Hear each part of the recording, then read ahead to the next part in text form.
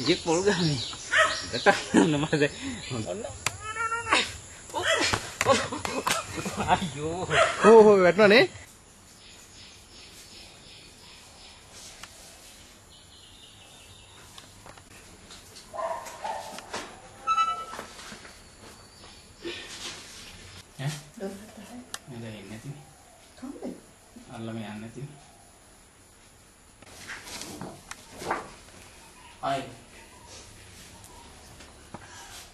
ඊට තමයි විවාහ වුණේ නේ. ඒ කාලේ අවුරුදු 5 නෙමෙයිද ඔව් ඔව්. දැන් සේවා කාලේ වුණ පහ. පහේනේ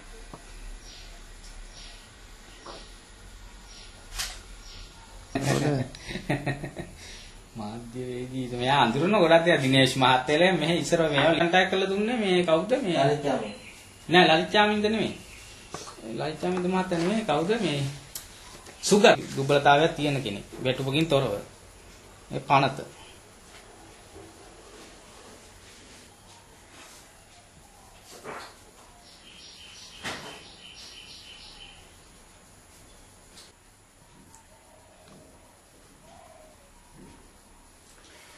එහෙට මම අදිසි අනුකූලටපත් වීම හේතුවෙන් මට යුද හමුදාවේ රාජකාරී සක්‍රියාවක තවදුරටත් ඉදිරියට කරගෙන ගැනීමට නොහැකි වුණා. ඒ නොහැකි වීම හේතුව මත යුද හමුදාව විසින් මාව යුද හමුදා සේවයෙන් ඉවත් කිරීම සඳහා කටයුතු කරා. මේ මම යුද හමුදා සේවයෙන් කිසිදු දීමනාවකින් තොරව ඉවත් කිරීමට කටයුතු කිරීමයි.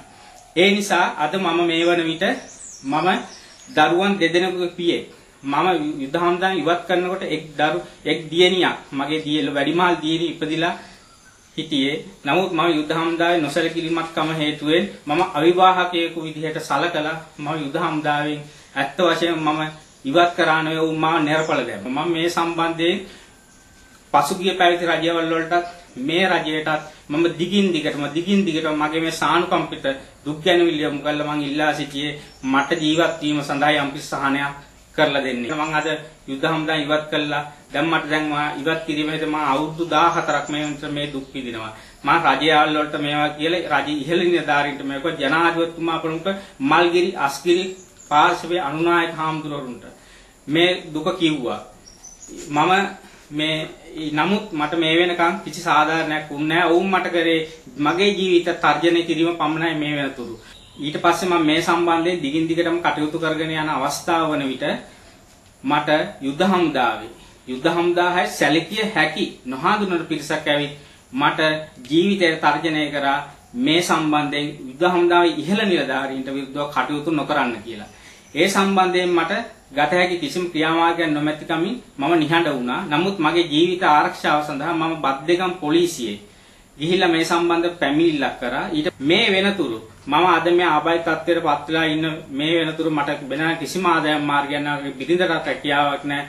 මගේ වයස අවුරුදු 16ක් වෙන මේ සැරේ සාමාන්‍ය පෙළ විභාගයේ හදාරපු ළමයා දක්වා කිසියම් ආකාරයක මට කිසිම උදව්වක් රජයෙන් හෝ යුද හමුදාවේ පැත්තෙන් මට ඉටු වෙලා නැහැ මේ වෙනතුරු. මගේ මේ කරුණ සම්බන්ධයෙන් ඔබතුමාලා පූර්ණ විධිමත් පරීක්ෂණයක් කළා මේ කරපු වැරදි ක්‍රියාමාර්ග නිර්ධාරණය කර වැරදි ක්‍රියාමාර්ග නිවැරදි කළා මට සහනයක් මගේ විශ්‍රාම වැටුප මගේ දුබලතාව වැටුප මට ලබා දීම කටයුතු කරන්නයි කියලා මම ඔබතුමාගෙන් සියලුම මහ ජනතාවගෙන් ඒ වගේම මේ අතිගරු ජනාධිපති මෛත්‍රීපාල සිරිසේන මහත්මයා ඉතාමත්ම ගෞරවයෙන් ඉල්ලා සිටිනවා. මට සහනයක් සලස්ලා දෙන්න කියලා.